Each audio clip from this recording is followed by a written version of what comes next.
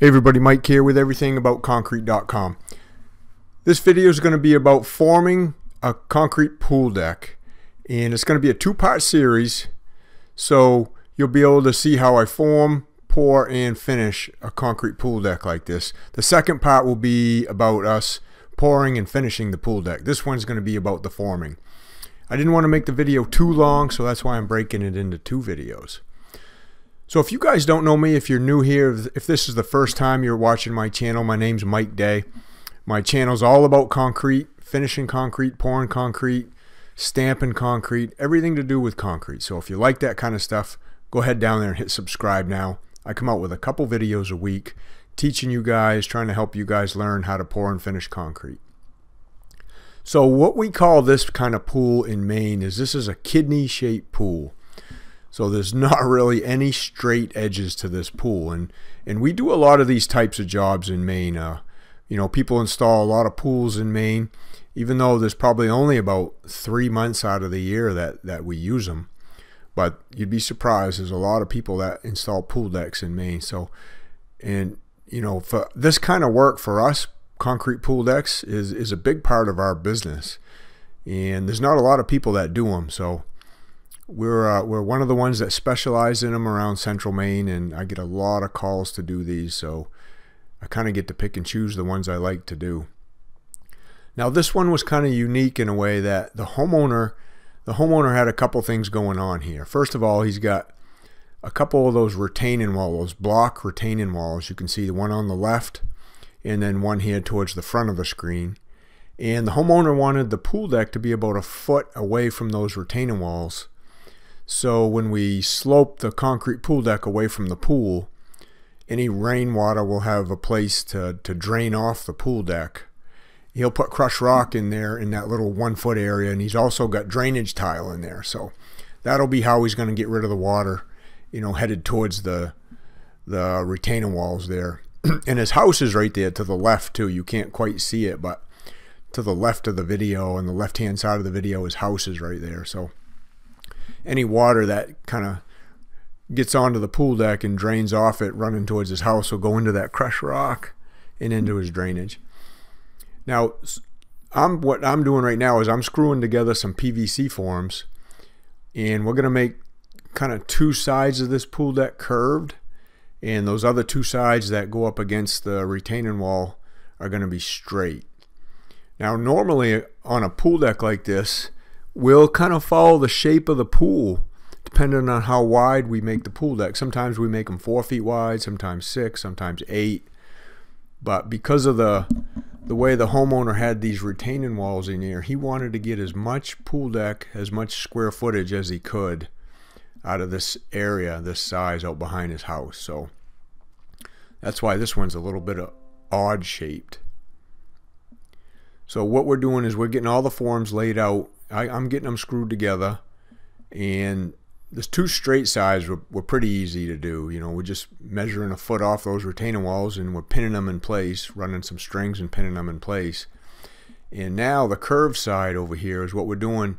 They wanted about four feet of concrete deck on that side of the pool. So we're going to cut a, a stick four feet and we'll hold it up against the coping. This pool also had the coping already installed. The whoever installed the pool put that PVC coping right there too. A lot of times we'll have to form up that coping on the inside of the pool and and pour that coping with the pool deck. But this one already had the coping, so that made it a little bit easier to, to get ready. So now what we're doing is we're going around and we're making sure that that PVC form is the same shape, the same curve as the pool by using that four foot stick I cut. And we're going around and pinning it about every four or five feet to keep that curve consistent. And what we're going to do is I'll drop that form about an inch lower than the, the coping there on the pool so the concrete slopes away from the pool. I'm using those 16 foot long one by four PVC forms. They're actually trim that you can use around a house. And we like those. They're pretty rigid, but they also curve really nice. They're they're kind of expensive to to buy, but we use them over and over again. I'll use I'll have those things for I don't know two or three years probably before I have to replace them. So you know if you look at it that way, they're really not that expensive, and they're fast for forming curves. So they save you a lot of time and labor. And we're just using some I'm using some drywall screws actually to to get them screwed together that way the short drywall screws, that way the screws don't stick through the form into the concrete.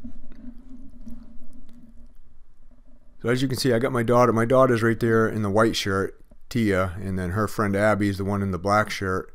They're both in college. This is one of their first jobs of the summer. So they're kind of learning here as we go. And I'm here forming this up for, for those of you guys have watched a lot of my other videos. You know, you don't see Darren and Luke here. I got a couple other guys if they're not here with me, that means we poured something already this morning, a floor, a slab, something, and those guys are finishing that job while I come over here and get this ready. So I'll get this prepped today. I'll get it all formed, and then usually we'll pour it the next day. So I'm getting it ready for a pour for tomorrow. And this is just part of the process. You know, usually we'll go pour something in the morning, and then I'll go get something ready for the next day and that's usually the way we do things. I, uh, you know, with a small crew like this, with two two guys that are finishers plus myself, we'll either pour a couple jobs a day and finish them, or we'll pour one and then get one ready for the next day like this. This is about an 850 square foot pool deck too, so it's it's a pretty good sized pool deck. I mean, most I think most of the pool decks that we do are between 600 and 1,000 square feet around here. So usually they're, you know, like four to six feet wide, like I said, around the pool. Sometimes some people like to go a lot bigger just to make sure they have room to put their patio chairs, their tables, their grill, gas grills, or whatever. And that was kind of what this guy was thinking. He wanted a couple sides where he's got quite a bit of room, you know, to put some patio furniture and a grill. And then the other two sides are basically just for walking around the pool. you can see I'm putting a 2x4 backer up against that PVC on that straight part there. It just the backer with the 2x4 helps keep the that 1x4 PVC piece straight. It does tend to want to curve in and out a little bit when you pour concrete up against it. So, you know, that piece wants to be nice and straight. And I like keeping things straight. If they're supposed to be straight, then that's what I want them. I want them straight. I'm using those metal pins with the holes in it to to pin the forms and then screw them to grade. And then I got my I'll set my laser up here in a minute. We'll shoot some some grades to make sure that all the forms pitch the right way and slope the right way. But this is basically you know what we do for for work on an everyday basis. We're, we're either pouring floors we're pouring slabs forming things up, doing a pool deck, doing a walkway, doing a patio. And that's what I like teaching you guys. You know, if you guys want to learn more about this stuff, like I said, uh, on some of my other videos, I've talked about I'm coming out with a course about how to start your own business. So, and I'm working on that now. So make sure you guys let me know if that's something you're interested in. I want, I want to, I'll keep track of you guys that said yes, so I can reach out to you when I get that done. And you know, I started this business. I was about 19 years old, between 19 and 20 years old when I started, and I'm 55 now, so I've been doing it a long, long time. But I didn't know what I was doing when I first started. So I want to help you guys, you know, minimize the mistakes, uh, speed up the learning curve. And if you want to start your own business, then that's what I'm here to do. I'm here to help you do that in any way I can. So this is the next morning, and we're finishing up the prep work now. And, and what we do to finish up is I'm, I'm over there on the right, and I'm putting duct tape around that coping, and we do that to keep it clean. That coping has it's a it's a like a PVC coping, and it's got like an orange peel finish on it. And we're gonna wheelbarrow this pool deck. It's not big enough to pump for us, and we can't quite reach it without the concrete truck, so we'll just wheelbarrow part of it. And when you wheelbarrow stuff, it does splatter when you dump the wheelbarrow. So we want to make sure that coping stays nice and clean. We'll pull that duct tape when we finish the concrete, we don't let it sit there overnight. Otherwise, sometimes the glue will stick to that coping. So it's basically just there for when we pour. What Darren's doing over there is he's setting the ladder. I like setting the ladder and the railings in these pools myself. That way I know that they're perfect and they're right in the right spot. And those those ladders and copings, they have sleeves where the ladder slides down into the sleeves that go into the concrete. So if you don't get those sleeves in right, then you've got, I mean, that ladder's not going to slide down in there.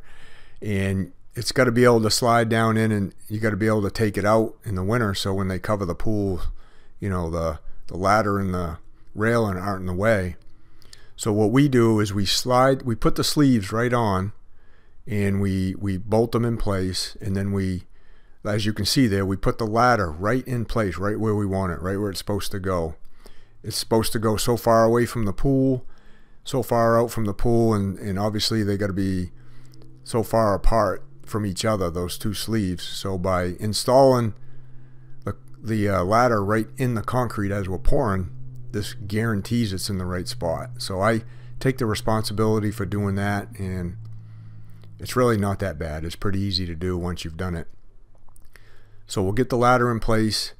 We'll make sure we're real careful when we pour around it. And now what we're doing is we're getting ready to put the railing. The railing's a little more trickier because um, the ladder kind of butts up against the pool down there in the water. So it kind of almost holds itself in place, but the railing doesn't. So we gotta we got to make sure the railing has something to, to sit on. So we're going to put a form across those stairs. Those are actually stairs right there in front of Darren and Luke that you walk down into the pool in. And you can see that's it for the railing and it's not going to hold itself in place. So we're going to put some forms up to help balance the, the railing. And then on those forms, we'll, we'll put a couple screws on each side and run a string to kind of plumb that railing and make sure that it's nice and plumb and straight as we pour around it. So we do, I mean, we do this on all the pools we do. So for us, it's just a normal part of what we do. And there's also, you can't see it in the video right here. There's also a ground wire that goes around this pool. So we'll, we'll tie that ground wire to the, to the ladder, to the railing, and also to the wire mesh we got put in there. So the whole pool deck's grounded in case I don't know, it's just code. So in case lightning hits it, I guess it's everything's grounded. So we got the straight edge there. We're running from the top of the form to the top of the pool coping. So now we know the height of the concrete, and we're going to set those those couplings that the railing slides into right to the height of the concrete. We don't want them sticking up higher, and we don't want them down lower. So those are going to be at the right height. And then they also got to be, at the right distance apart. You can see they're about eight inches, one's in, one's in front of the other. And they also got to be a certain distance away from the pool. You know, they got to be about eight or 10 inches away from the pool, those couplings. So that's what we're doing. This is the process that we do it. And this is how we form, you know, our pool decks, whether they're curved, whether they have both curves, both straight edges like this one does. This one's a little bit unique in that way. Or whether they're just a, a rectangular pool and they just all have straight edges with just the four corners have little curves in them. So let me know how many of you guys out there do pool decks. You know, how many of you pour pool decks? How many do you form them? And what do you call pool decks like this where you're from? We call them kidney shaped pools. You know, do you guys call them something different? This is an in-ground pool. It's a vinyl pool. A lot of pools in Maine are these vinyl type pools like this. Um, let me know what you guys have for pools in your areas, you know, in different parts of the country. Do you have a different type of pool that you use? Do you have to form the inside copings of the pool also? How many of you guys do that? Part two of the video will be coming out next, so you'll get to see how we pour and finish around a pool like this. And thanks for watching, guys.